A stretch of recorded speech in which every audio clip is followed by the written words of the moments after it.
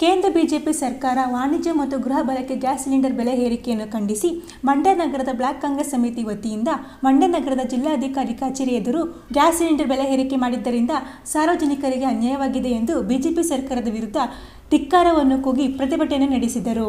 ಈ ಪ್ರತಿಭಟನೆಯಲ್ಲಿ ಕಾಂಗ್ರೆಸ್ ಮುಖಂಡರಾದ doctor Krishna K K Radhakrishna, ಮಾಜಿ ಸಚಿವರಾದ ಎಂಎಸ್ ಆತ್ಮಾನಂದ, ಅರ್ಜುನ ಶ್ರೀಕಾಂತ್, ರುದ್ರಪ್ಪ, ಕನ್ನಲಿ ಚೆನ್ನಪ್ಪ, ಗುರುರಾಜ್, ಶ್ರೀಧರ್, ಮಮತಾ ಮೂರ್ತಿ, ಭಾಗ್ಯ ಸೇರಿದಂತೆ ಹಲವರು ಉಪಸ್ಥಿತರಿದ್ದರು.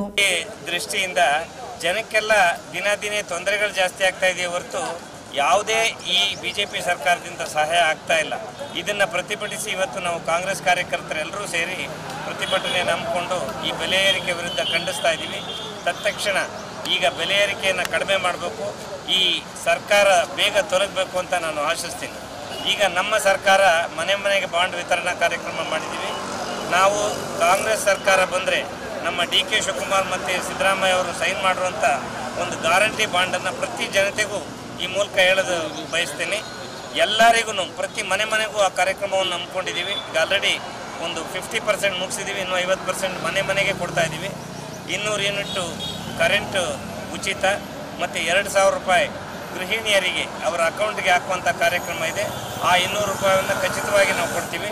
ಅದಲ್ಲದೆ ಹತ್ತು ಕೆ ಜಿ ಅಕ್ಕಿ ಕೊಡ್ತೀವಿ. ಈ ಗ್ಯಾಸ್ ಸಿಲಿಂಡರ್ನ ನೀವು ಹೇಗೆ ಸಾವಿರದ ನೂರೈವತ್ತು ರೂಪಾಯಿ ತೊಗೋತಾ ಇದ್ದೀರೋ, ಅದನ್ನು ಬರೀ ಐನೂರು ರೂಪಾಯಿ ಕೊಡ್ತೀವಿ ಅಂತ ಈಗಾಗಲೇ ನಮ್ಮ ನಾಯಕರಾದ ರಾಹುಲ್ ಗಾಂಧಿ ಅವರು